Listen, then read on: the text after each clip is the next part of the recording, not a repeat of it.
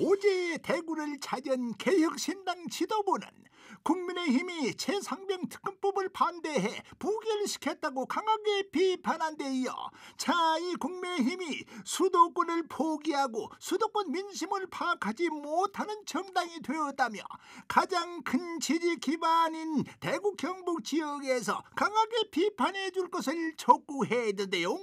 천하람 개혁신당 원내대표 대구 경북이 있으니까 먹고는 산다라고 착각하고 있는 국민의힘에게 대통령이 아니라 국민에게 충성해야 한다는 회초리를 대구 경북에서 가장 강하게 때려주시기를 부탁드립니다.